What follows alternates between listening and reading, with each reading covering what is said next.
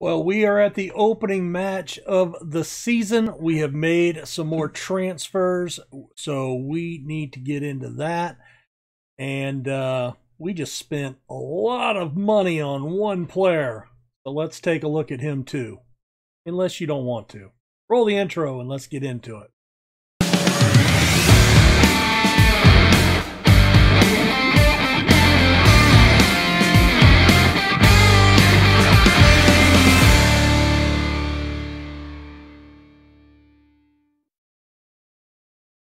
Hey guys, RC here. Welcome back. Football Manager 21. This is episode 49, climbing the ladder. Our single team save with De Graafschap. Interesting news. Last year's uh, Eredivisie champions, Willem 2, uh, their manager stepped down and took the Netherlands job. So that was interesting. They haven't offered me the job. I couldn't take it anyway.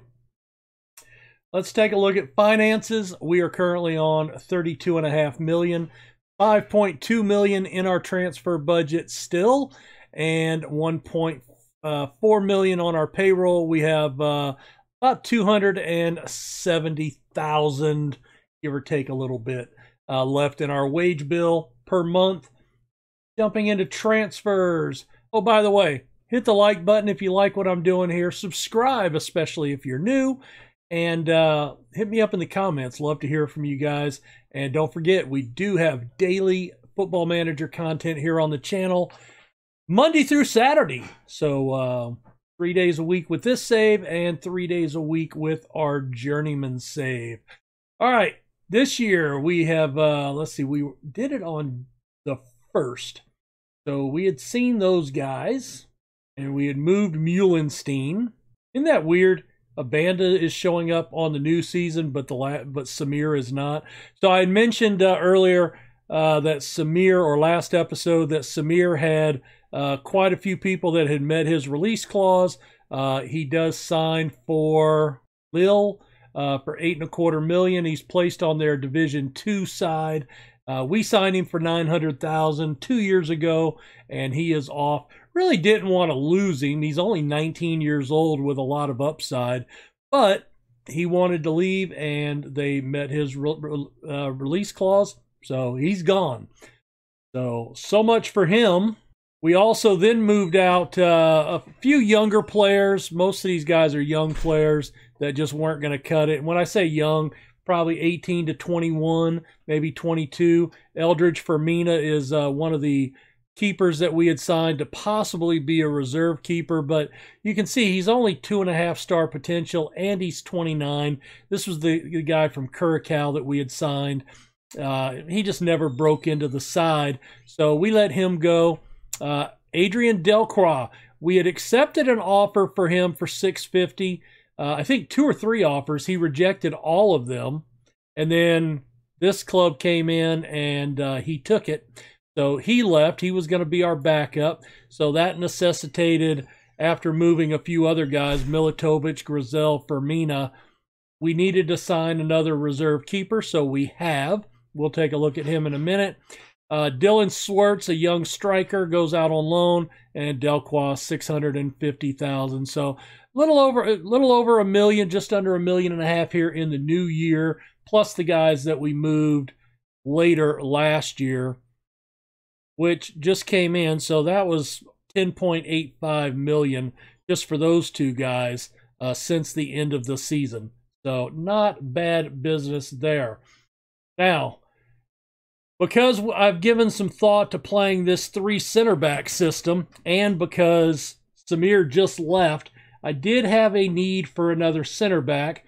We moved all these keepers. Delcroix left, so we needed a deputy ready. I have a lot of younger keepers like the guy that we just signed, but um, with the high eccentricity that we talked about.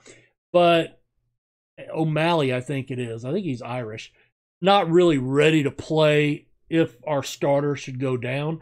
So uh, we signed somebody, but let's take a look in order. Emmanuel Abanda, he is, comes in on a free. He was uh, the only player under the age of 30 released by Dutch clubs. Uh, he's a left back, but can also play at center back in a pinch. But we do need a, a left back. he was decent, and so I went ahead and signed him. Honestly, because he was a free, he's valued at a million dollars. He's a set. He's you know he's an asset that we can sell. Uh, Vladimir Petric uh, comes in for 2.2 million.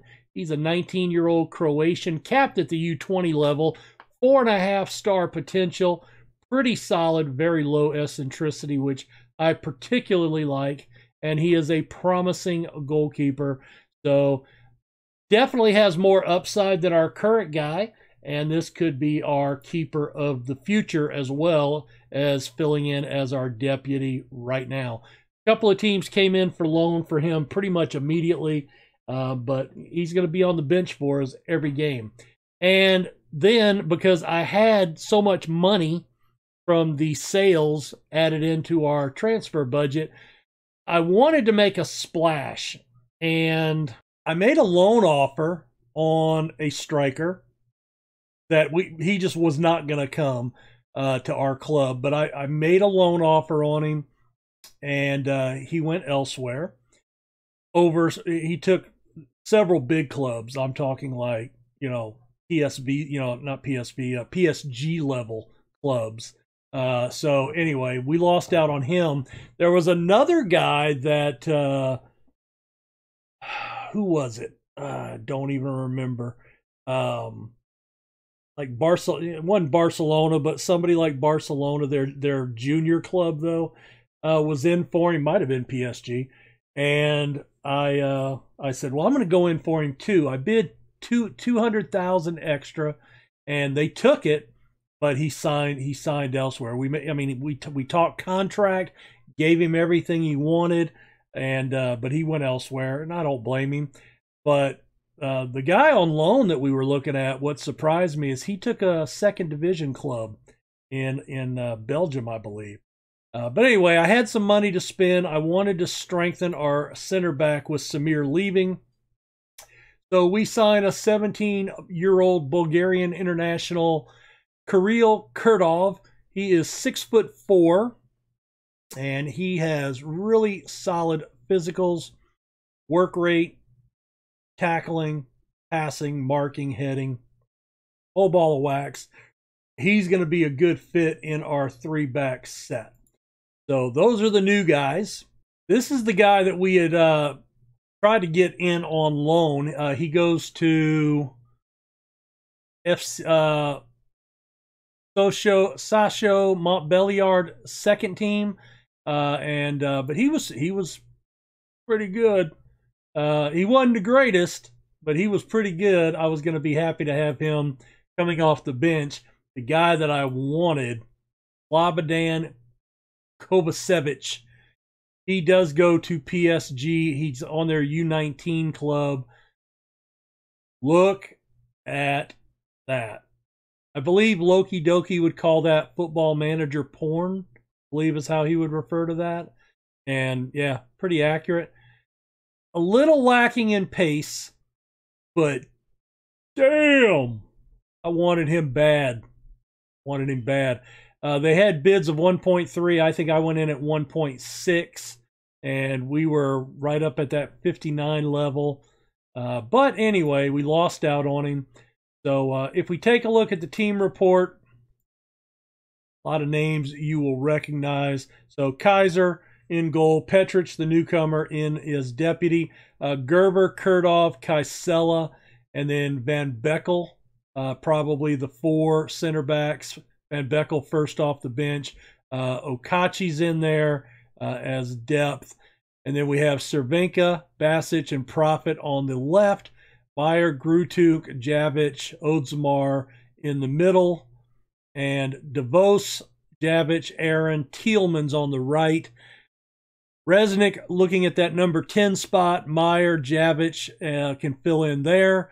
And then Kernjik uh, Resnick, Vicario up top in the striker spots. So I'm looking at Kernjik, Vicario in the top two with Resnick slotting in behind them. We also have signed, uh, re- signed Resnick to a new extension through 2061, so a five-year deal, uh, getting rid of his pretty low release clause. I think it was like eight and a half million, something like that. Uh, we were starting to get some people sniffing around, uh, you know, the five, six million dollar range. So I said, let's just go ahead and re sign him. And uh, he was willing to do away with the buyout clause. So that's what the squad looks like. Uh, taking a look real quick at friendlies and whatnot. Uh, 5 0 victory over Red Star, a 1 1 draw with Heracles. I believe we had a couple of friendlies that were at the tail end of last season. Uh, we did. Zlín, a 5 0 win, and Thun, a 6 2 win. Uh, you can see here, Grutunk uh, with a goal, Resnick out of the number 10, Cervinka on the mid in the mid center, Ozdemir in midfield, Profit left left midfielder, uh, Bujetsky uh, is uh, right midfielder. I new guy or younger guy, didn't recognize him. So you know we're seeing a lot of goals out of this t- new tactic coming from the midfielders. Uh, but then Kernjik with a brace, Vicario with a hat trick, Kernjik with a goal there against Heracles. We actually dominated that game statistically, uh, just got put down. So jumping in, we're going to open up today against newcomers NEC. So let's take a real quick look. Willem, the defending champions. And the new clubs coming up are Emmen, Roda, and NEC. Uh, two of those three are favored to go down. Eindhoven in the mix there. We are picked as a mid-table side at 100 to 1. Probably the best pick that we've been since uh, the, the save started, uh, but not quite good enough to get into Europe. We'll have to do something about that. Uh, PSV favorites, Willem right there, of course, with a new manager. Heerenveen up there, pretty much your similar cast of characters. Uh, and if we take a look at the star 11 from the league, none of our guys in the mix. That's too bad. But if we look at who our top players are, uh, Kernjik and Kurdov, uh, Kurdov is that new Bulgarian center back. So those are our top two players in the league. Taking a look at team selection for today, we're going with Kaiser in goal, Van Beckel, Casella, and Kurdov on the back line as Kurdov makes his debut. Profit making his debut on the left. Thielmann's in at the right uh, wing. Grutunk and Meyer anchoring the mid like last year. Resnick drops uh, into the number 10 after moving over from the attacking right wing. And Kernjik and Vicario. You want to see they're playing a 4-4-2. That's one thing I'm going to have to look at this year because this is a little susceptible if you have attacking wingers. So basically, I have a uh, two tactics. I have the 3-4-3 versus wingers and without wingers. So we're going to switch over to this one. It's the same positioning and everything else. The only difference is on the two wing positions on the on the number two versus wingers. I have them specifically set to man mark. Uh, profit or the, this left wing would man mark the attacking right winger, and the our right winger would cover their attacking left winger. Makes sense. You guys know what I'm talking about. Uh, Kernjik and Vicario, that good partnership up top. Let's get into it and go. We are going to need a couple of squad numbers. We'll let them pull out of the, uh, the bin in the locker room. Typically, that's how we roll. In fact, I think last season, right at the end, we gave uh, number 13 to our keeper. And I think that was his favorite number. It was available. And, you know, I think that might be the first time in football manager history that I've actually assigned a number to somebody. All right, we're going to encourage the team. We are in attacking format. We've already had two shots, three shots, and we get the first highlight. So Grutunk from the midfield line into Vicario, who drops back to receive that. Resnick beats his man. Bad play by Tomias. Meyer threads it through. Vicario is there and he slots it home. We're 13 minutes in. Vicario, our captain, with our vice captain, I'm sorry, with the first goal of the season. And we are up 1 0. Um, Gerver is our captain. He's not in the starting 11 today. He actually got hurt. And uh, we've got several players. In fact, uh, DeVos, our right right midfielder, uh, he's out injured as well. So, you know, we are going to have to kind of deal with with that Just is what it is, I suppose. Good header down. Profit comes back and gets control for us. Meyer, Resnick team up there to get it into the attack zone. And I tell you what, what I did notice in all the friendlies with this tactic, I do not have work into the box on and a lot of shots from the fringe areas of the box, uh, both by midfielders and our number 10. And they put a lot of goals away. All right, that was a bad outlet pass. Casella runs him down and it misses. Boy, I thought that was in the net. Oof. Just eight shots, five on target, a 0.94 XG. Let's encourage him again. Everybody's playing pretty well. We do have Tealman's on a 6-6, up to a 6-7, and that is the score at the half. Uh, let's pump the fist. You played well, still room for improvement and we will get back into it. Let's demand a little more from him now. Kurdov, there's his first highlight of the save.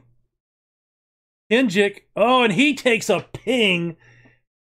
Probably should have taken a dribble, but again, without work into box, I am seeing that. Long throw, cleared out. Casella controls it, up into Resnick in that number 10. Casella stepping up from that center back role. Oh, there's the through ball, and Kernjik misses his first shot. Excuse me. Corner, near post, knocked away. Vicario's going to run it down. Oh, that's an ugly foul. Is there going to be a penalty there? I mean, uh, not, not a penalty, a card. Does not appear to be. All right, we are in the 63rd minute. I think I'm going to be a little more, at least here in the early going, I'm going to be a little more aggressive. I just kind of want to see if I don't make the my normal sub at the 60th minute. Uh, it's in the box, but the keeper gets down on it if I start waiting for some of the guys to go red, like Tealman's just went red, so we got an extra five minutes out of him, right? Uh, let's put uh, let's put Jazvik Jazvik out there. Take a look at him. He's 25 years old, capped at U20, four star potential, three star current, good dribbler, good passing. Uh, he is going to be really good in that number 10, but I think Resnick is just better right there. So, um, but he can play a couple of other positions. So I kind of like that. So we're just going to make the one sub right now.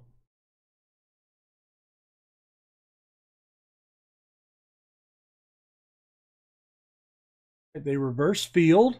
Now he's open. Wabena. Profit collapses on him. Good tackle in. Nice. Forces it back. And they play it all the way back to midfield. How Kernjik didn't get there, I don't know. But Tealmans is on it. He slots it into Vicario, and Vicario backdoors it on Blanchard for his second goal. And I tell you what, I don't know if you saw that, but Kernjik was right there running with him.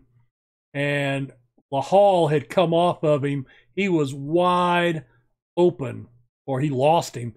He was wide open for, for an easy open net uh, if Vicario didn't feel obligated to take that. But uh, hey, you know, when you're already winning and you don't need the goal, but you get it anyway, that is positive. All right, Profit is now tired. Let's go pull him off. He is our left winger. We'll bring uh, in over there. Actually, yeah, Tealman's is already off. I was thinking we could put Tealman's in there. Uh, we've given a contract extension. He was in the last year of his deal. Not really, you know, not really anything to be gung ho about. Oh, good flick over by Basic. That was a nice play. His first highlight. And a crack from the edge of the box. Doesn't go anywhere. All right, and Grutunk now red. Uh, let's go ahead and pull him for. Really want to play one of our guys here. Uh, what? A, who is Bajetsky? I don't recognize him, so he must not have played much last year, if at all. He's got pretty good technicals on the attacking end. He can pass. Off the ball looks okay, but he's more of a right winger. Um, I tell you what, let's give the uh, let's give the debut to our lone player, uh, Ahmet Ozdemir. Let's do that. And we will start this back up. He'll come in on the next substitution possible, or he's already in. Good. Kernjik, he takes a crack from the edge of the box. So what I might do in the next couple of matches, I might turn on work into the box and just see how that uh, affects or impacts our overall gameplay. Uh, because we're creating a lot of chances, we're getting good shots. So I don't want to really mess with that, but if we can get some better opportunities, then I think we would be crazy not to at least think about it, right? Good ball movement there into the middle of the field. Oh, Vicario is in, and he's tackled. Kernjik can't get the ball, and oh, it's just headed away. A couple of good efforts. I am wondering why we didn't get a penalty call there. I think Vicario should have been on the spot with that takedown. But all in all, a solid 2 0 win, 30 shots, 13 on target, a 306 XG two goals scored. Like to maybe get a little bit better there, but hey, you know, it was a good first game, breaking in a new tactic. And uh, hey, we are not going to shake our head at that at all. So, because we're not in our first, you know, handful of seasons anymore, I think we're going to go and take a look at Oh, we had to pay AZ eight hundred twenty-five thousand. His fiftieth league game for the club. That's fine. Vicario, two shots, five shots on target. Give him a congratulations. So that's good. Um, yeah, I don't see the need to come back. You know, a lot of times, you know, I'll come back real early in the in the schedule. I don't really see the need for that right now we don't have Europe this year. It's just the league. So I think let's get a good run of games. Why don't we come back for Emmen highlights and FC Twente uh, in the middle of October, our first two matches of October. That'll give us seven matches in hand, and we'll try to get through some more seasons. So go ahead and hit that like button for me, subscribe, Hit the notification bell. Daily Football Manager content six days a week, Monday through Saturday. Have a good one. Bye.